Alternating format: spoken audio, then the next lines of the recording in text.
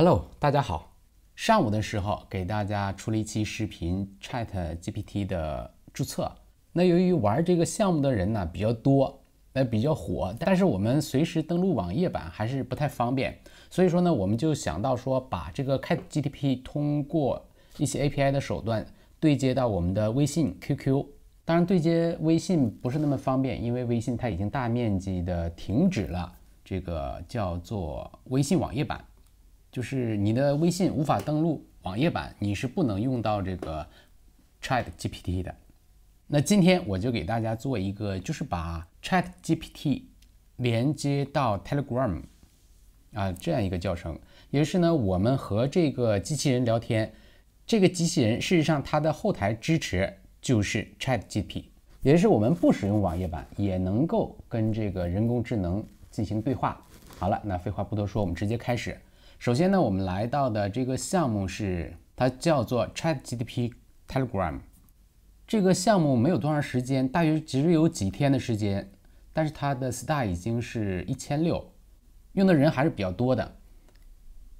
同时呢，它也是一个开源的项目。我们先来简单的看一下。那首先呢，我们是要下载它的代码，然后要创建机器人，修改一些配置。设置使用的人，好，然后执行程序。好了，我们就从头开始。第一个步骤就是在我们的 VPS 上上传文件。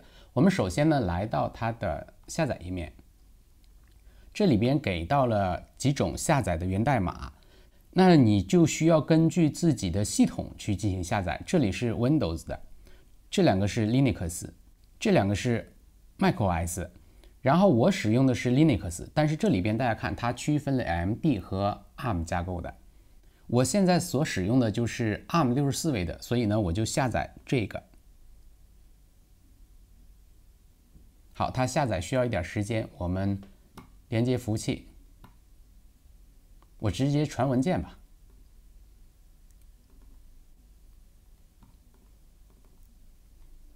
我把它解压之后，然后。修改一个短一点的文件名，然后把这个文件夹直接上传到远端服务器的 root 目录。配置的话，我们要回头看一下。首先，我们是要创建一个机器人，那我们来到 Telegram，然后艾特一下 bot father，然后在这儿点击开始。创建机器人，我们使用的命令是 new bot。呃，我们现在需要一个名字。呃，机器人的话呢，后边要有一个下划线，然后加上 bot。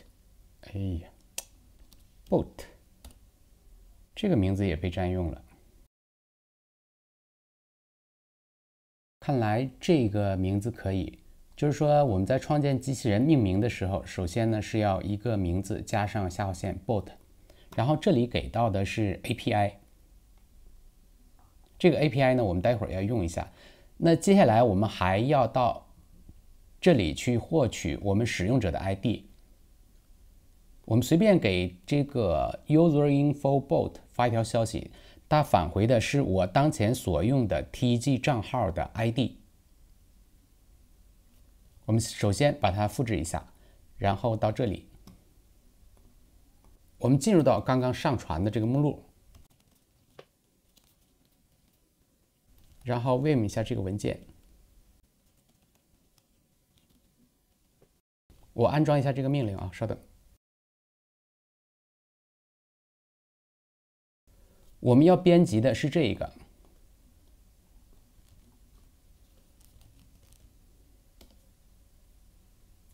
第一个是 Telegram ID，点击一下 I 进入编辑模式，然后我们把刚刚获得的我自己的 ID 填写到这里。那这个 ID 呢，事实上就是使用者，就是谁有权限与这个机器人进行聊天。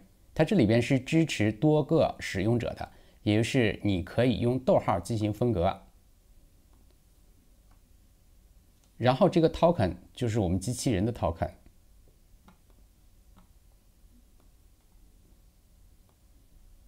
我们复制这一长串，把它写到这里。后面这一行呢，表示等待的时间，一秒钟可以。好，我们直接保存它。保存以后，我们要把这个文件呢换一个名字，我们用 cp 命令，从命名为点 env。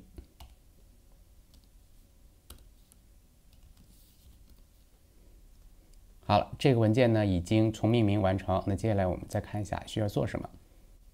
在这里啊，大家注意一下，就是说我们远程的这个服务器是没有装浏览器的，但它后来说要启动这个浏览器，所以说呢，我们在这儿啊，我们在这儿直接把这个 cookie 放到文件里，进入到这个目录，然后它有一个文件，我们把那个 cookie 直接放到这里。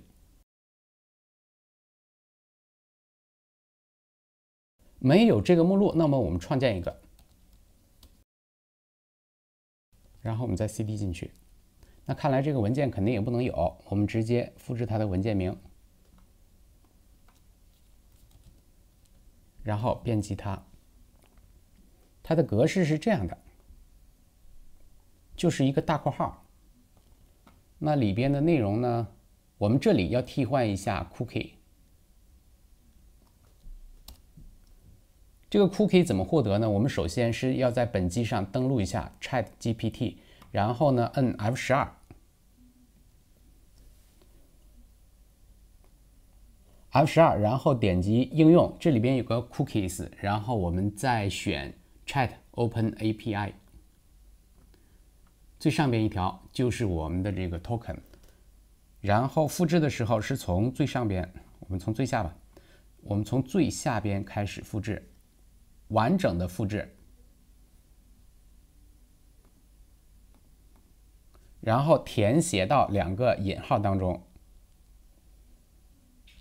把整个的内容复制，再把它填入到这个文件当中，粘贴就可以了。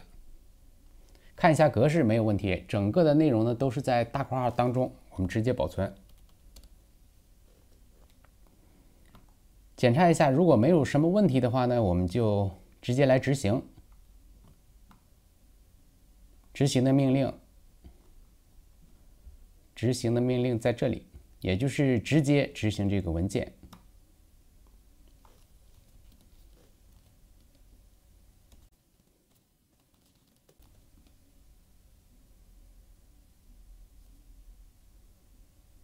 它停顿了一下，好了，我们现在呢与这个机器人去聊一下。